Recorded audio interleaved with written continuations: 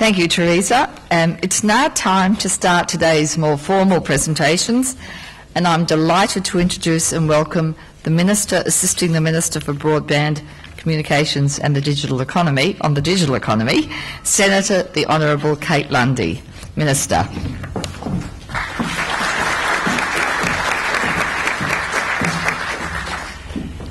Uh, thank you uh, to Johanna Plante, Chair of ACCAN, Teresa Corbin, CEO, to Axel Leblois, President and Executive Director of the G3 ICT, Karen Peltz Strauss from the US FCC, to Jill Risley uh, to Telstra, from Telstra, but also can I acknowledge other sponsors supporting uh, this fantastic um, inaugural M Enabling con- Conference.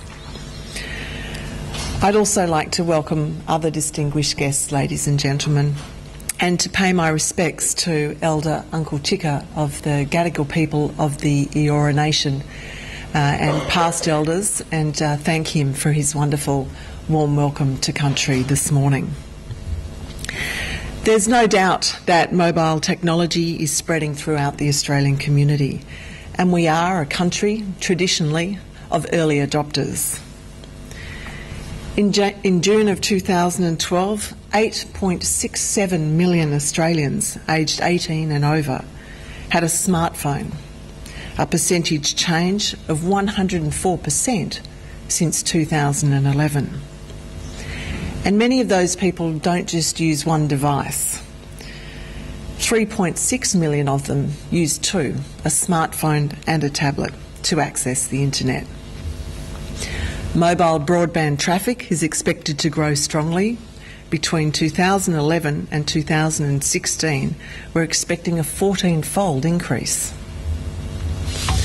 Mobile technology is increasing capital productivity with estimated economic productivity benefits of over $11.8 billion over the next decade. Ladies and gentlemen, the widespread adoption of mobile technology is creating opportunities for everybody, everywhere. These opportunities are driven by consumers increasingly using online services, which in turn has resulted in a higher data usage and community awareness, resulting in demand for yet greater capacity, including the 4G network upgrades. We know there are 17.4 million subscribers with internet access connections via a mobile handset in Australia, an increase of 7% in just the last six months. This mobile technology can also assist people with disabilities or communication impairments who can take advantage of smartphone features to assist with communications, either by using the built in features like SMS, voice recognition, or um, translation services. For example, an app such as Georgie on Android allows the blind allows blind people to navigate day-to-day tasks such as catching a bus, knowing their whereabouts, and reading printed text. Other apps, such as Walkie Talkie, use Google Navigation to provide step by step directions while reading aloud addresses, business names, and landmarks. A similar app also speaks the names of a user's surroundings. Our CSIRO is trialling an app that aims to allow the elderly to live at home safely for longer by collecting data on their movements around the house. This Smarter, Safer Home project is currently being trialled in New South Wales. While data is collected by motion sensors, the data is also reported to a tablet device so the elderly person can retain control over what data gets reported. Vision Australia provides accessibility orientations via podcast on smartphone and tablets for people with impaired vision. A number of Queensland special schools are using tablets as learning tools for their students.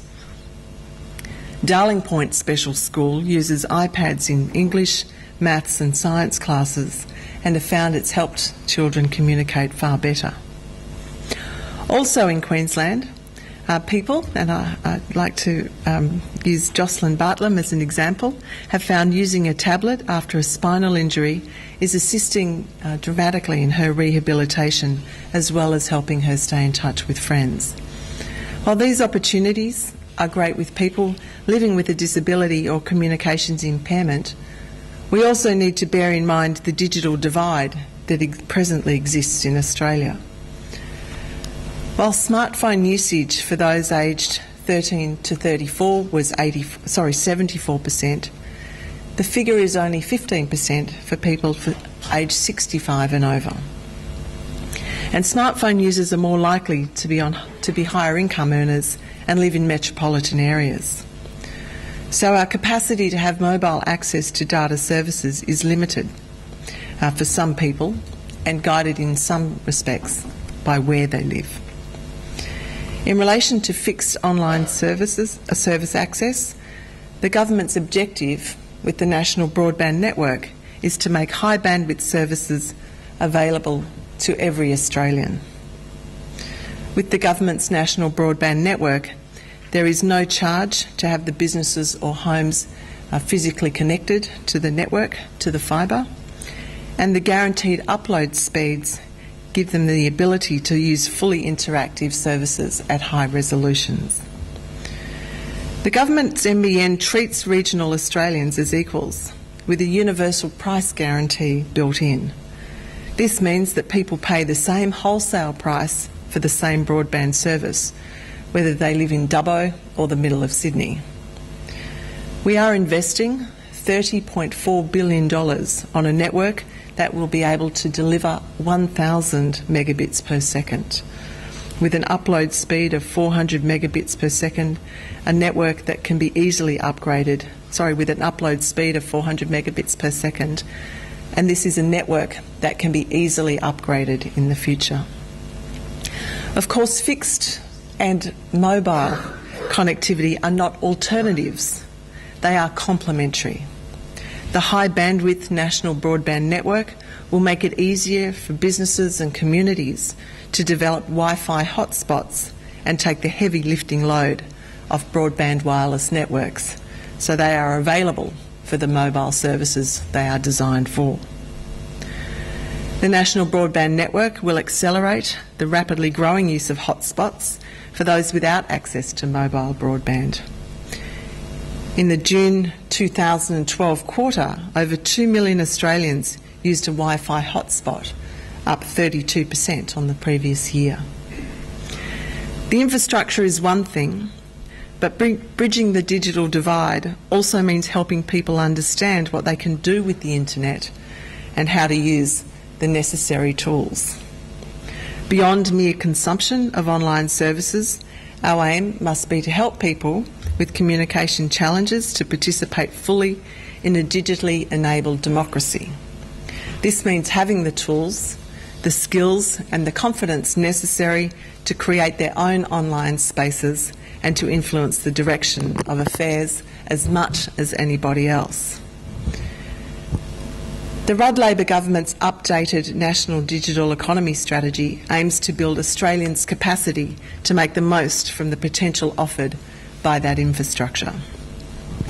Under this initiative, the Australian Government is providing $13.6 million in grant funding to establish a digital hubs program designed to help communities gain the skills needed to maximise the benefits offered by high bandwidth networks. The Digital Hubs program is currently available in 40 communities around Australia. A key target group is seniors with limited experience with ICTs. Another angle of attack against the digital divide is the government's Digital First initiative. This policy commits Australian government agencies to using digital channels as their primary or preferred form of service delivery. This puts major services online, increasing accessibility and reducing the costs. The policy is part of a broader government goal to have 80% of Australians choose to interact with the government online by the year 2020. Agencies must design digital service, services in accordance with three core principles Agencies will design online services for the end user so that they are convenient, secure, and of course accessible. Agencies will use the move to digital first to re- redesign their business process, reviewing the relevant policies and processes as well as legislation where necessary. Agencies will design their services for integration, with agencies collaborating on common standards, portals, and credentials to give users easy and consistent navigation. All priority government services will be part of Digital First, including services that relate to welfare, child support, health, and aged care services. And they'll be working to make these services available online as soon as possible, including planning all services in accordance with Digital First from January 2014. So this conference could not have come at a better time. This will mean agencies will be planning their services to be end to end digital, from initial enrolment to identity verification to subsequent translations, and making these services available on a range of devices computers, tablets, mobile phones, where appropriate. And where face to face services are still required, as of course they will be, agencies will also make video available as an alternative wherever cost is effective and consistent with government policy and accessibility principles. A great example of mobile government service delivery is the Express Plus suite of mobile apps produced by the Department of Human Services. These applications allow Australians to access a variety of services via their mobile phone or tablet. With DHS claiming this to be the Australia's largest civilian government agency. According to them, their mobile apps are 69% more effective at helping people find the services they need compared to the alternative online interface. DHS estimate the apps have saved 200,000 hours of network processing time since the launch back in 2012 something like, or close to, the figure I have here, is nine, 975,000 apps have been downloaded. 15 million translations, uh, sorry, transactions processed, and 100,000 customers report every fortnight using Express Plus. DHS, which is the Department of Human Services, um, their apps also allow people to use their smartphone camera to scan information about their claims rather than having to mail proof. Daily uploads of document photos from the apps reportedly exceed 1,300 in June of this year. In addition, the Express Plus Lite app from DHS is currently available in Vietnamese, Chinese, and Arabic allowing job seekers who speak these languages to record and report their earnings using their smartphone. Internet and mobile technologies are also having an impact on the National Relay Service, telephone access service available to all Australians, I'm sure you're very familiar with. It assists people who have a hearing or speech impairment or are deaf to contact anyone in the wider telephone network. Anyone in the community can use it to communicate with those who are deaf or have a hearing or speech impairment. And the NRS has taken advantage of new technology to assist people uh, to access new technologies. As from July the 1st this year, the new NRS services available include a video relay service that enables deaf Australians to communicate using Auslan an SMS relay service that enables deaf, hearing, and speech impaired Australians to send an SMS from a standard mobile telephone through the NRS to another party. And further service improvements are to be progressively delivered in the second half of 2013, and these include improvements to internet relay that will allow NRS users to receive as well as make phone calls on internet enabled devices a web based captioned telephony service that will allow Australians with hearing impairments to read other persons' responses in phone conversations in close to real time, and access to a range of existing and future NRS service options through a mobile app. I believe the convergence of the NRS and online technologies provides uh, a new platform of inclusiveness uh, for those with speech or hearing impairments. Ladies and gentlemen, we clearly face a number of challenges if those with the communication challenges and disabilities are to participate fully as citizens in a digital world. In particular, some of the people who ben- potentially benefit most from mobile technologies are the ones who currently use it least, um, confronted with perhaps barriers or socio-economic reasons for not doing so. It's the promise of democratisation of data, of information, be it from the digitisation of Australia's cultural assets through to you managing your personally controlled e health record. Um,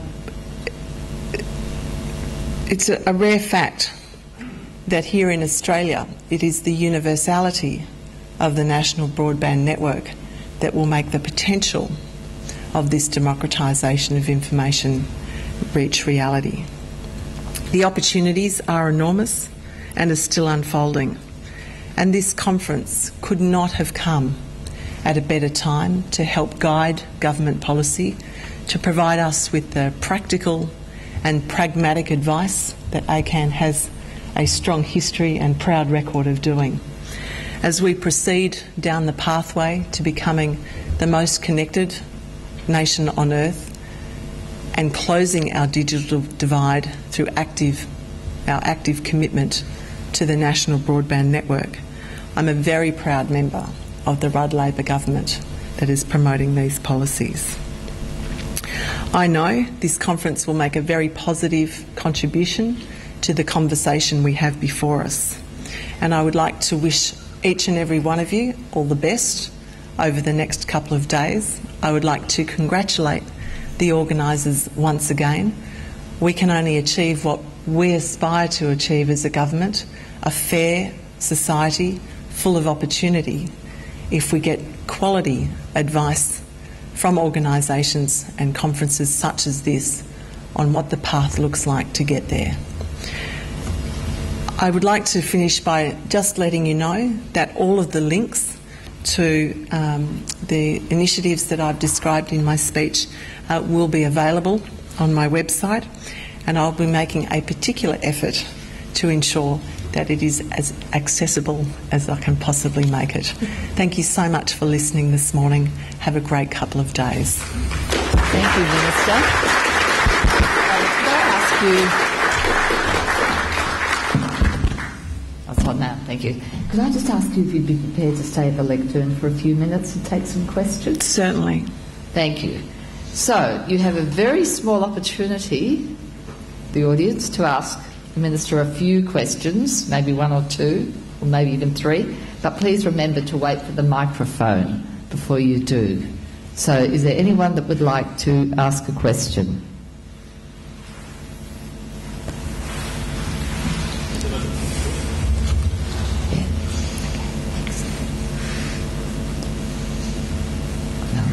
Senator.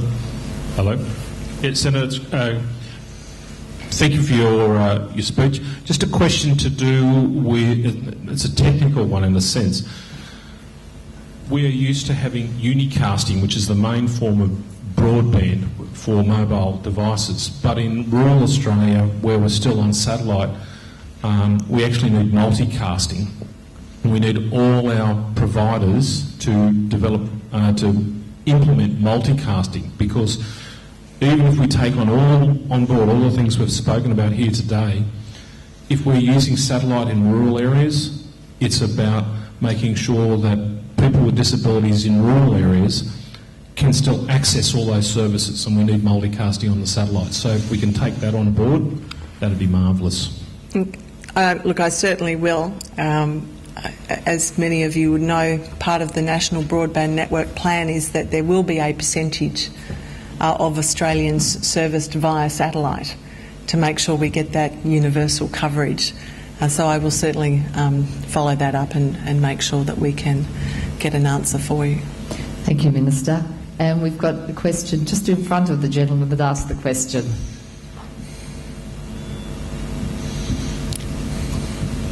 Uh, th- thank you. It's Susan Thompson, um, an advocacy advisor at Vision Australia.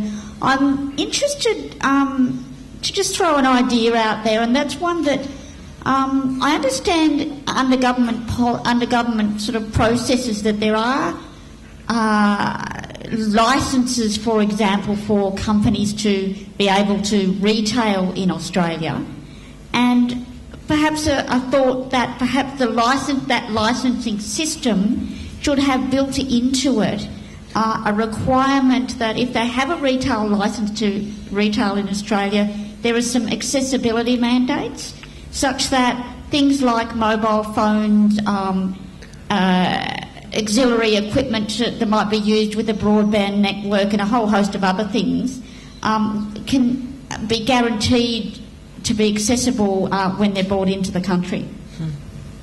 Um, look, a, a, great point, and I'm, I'm not familiar with the, the licensing requirements and how they relate to accessibility.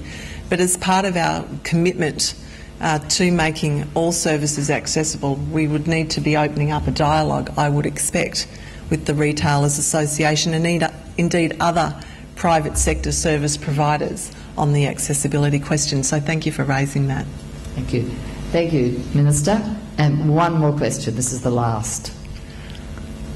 Uh, but who was first? I don't know.